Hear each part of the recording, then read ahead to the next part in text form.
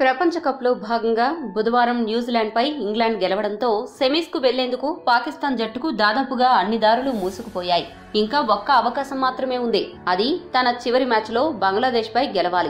గెలవడం అంటే ఏదో మామూలు గెలుపు కాదు. భారీ నెట్ రన్ రేట్తో గెలుపు సాధించాలి. ప్రస్తుతం బంగ్లా టీంను చూస్తే ఆ టీంను పాక్ ఓడించడమే అంత సులభమైన విషయం కాదు. భారీ రన్ రేట్తో అంటే అసలు కుదిరే పనేనా? దాంతో పాక్ సెమీస్లో అడుగుపెట్టడం కష్టమేనని ఇప్పటికే ఆ దేశ అభిమానులు ఓ అంచనాకు వచ్చారు. ఇక ఇదిలా ఉంటే పాకిస్తాన్ సెమీస్ అవకాశాలు దెబ్బతినడానికి టీమిండియానే కారణమని ఆ దేశ అభిమానులు మాజీ క్రికెటర్లు ఒక అంచనాకు వచ్చారు.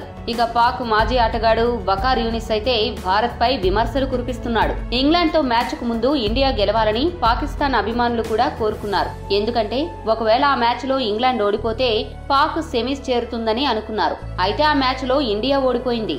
దాంతో ఇండియా కావాలని ఓడిపోయిందని అర్థం వచ్చేట్లుగా వకార్ యూనిస్ వివాదాస్పద ట్వీట్ చేశాడు. పాకిస్తాన్ జట్టు సెమీస్కు వెళుతుందా లేదా అనేది నేను పెద్దగా పట్టించుకోను. కానీ కొందరు ఛాంపియన్లు కూడా క్రీడా స్ఫూర్తితో ఆడడం లేదు. క్రీడా స్ఫూర్తిని ప్రదర్శించడంలో వాళ్ళు ఘోరంగా విఫలమయ్యారు అని భారతదేశాన్ని ఉద్దేశించి ట్వీట్ చేశాడు. పరోక్షంగా టీమిండియాపై విమర్శలు గుప్పించాడు. ఒక్క వాకర్ యూనిస్ మాత్రమే కాదు ఆ దేశ క్రికెటర్లు బాసిత్ అలీ సికిందర్ బక్త్ సైతం పాక్ను ప్రపంచ కప్ టోర్నీ నుండి బయటకు పంపించాలనే ఉద్దేశంతోనే ఇండియా కావాలనే ఓడిపోయిందని ఆరోపించారు.